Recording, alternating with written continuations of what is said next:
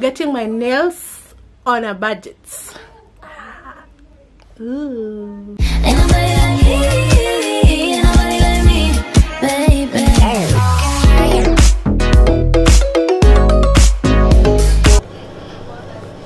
Hello k-tribe. Welcome back to my youtube channel. Today is a pamper day and i'm at Jem nails bar. It's just opposite the bazaar B bmi towers. Stall b8 i'm gonna leave the link down below here. If you want to come and do nails they do like gel nails uh, nail application. Today i'm going to get like um, gel nails on my nails. I'm not going to do extensions because my nails are long enough are long enough. Yeah. Uh, these are my nails right now and i'm going to get which color? Is it I'm like um I'm torn between this color and this color but I guess I'm going to go with this color because I love bright colors on my nails. So excited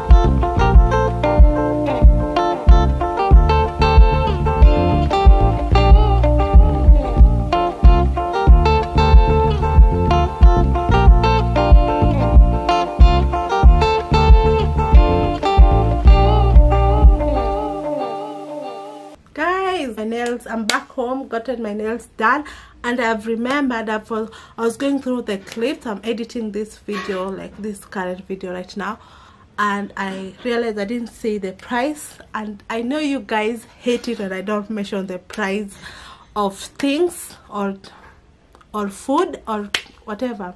So what i'm trying to say is these are gel nail polish and i got them at 500 kenya shillings. Can you imagine they're so nice. I got them like with my real nails because like everyone like keep praises me about my nails. Like they're cute. So i'll take that as a compliment.